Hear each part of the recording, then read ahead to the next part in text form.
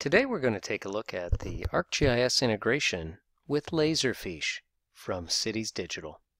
What I'd like to start out with is to show you a little bit around the map. We'll zoom out so you can see the congressional districts and you can see that we have another layer plotted with our recent fires.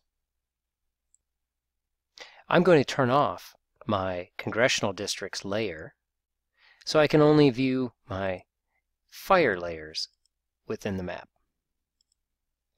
If I select one of the different points on the map, it's going to show me the information about the map that I have on that particular layer and link directly to my documents in Laserfiche.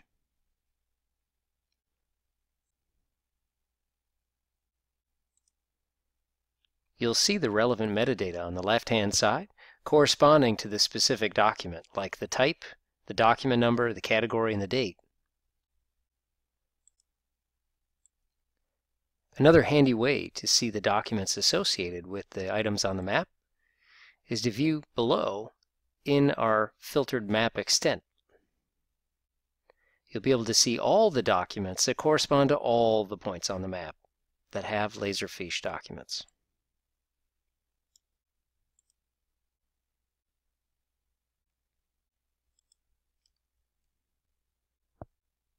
Now we'll add in another layer we'll add the Laserfiche Congressional Folders layer to the map.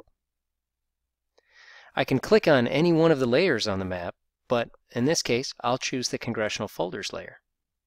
When I click on it, I'm instantly displayed the documents that are associated. I can click on one of those links to display the document in Laserfiche. I might want to add a document to the system, and I can do that by choosing Edit. From here, I'm presented with a dialog box showing me all the metadata. This is specific to a folder. I can choose to add a document from here. We've now added that to our Laserfiche system, and I can close. Before I do that, I can also choose to delete documents right from here as well. And I'll close. Now let's take a look at what that looks like inside the Laserfiche system. Here it is, the real documents behind the scenes associated with Congressional District 46. And how does it get there? Through the metadata pane.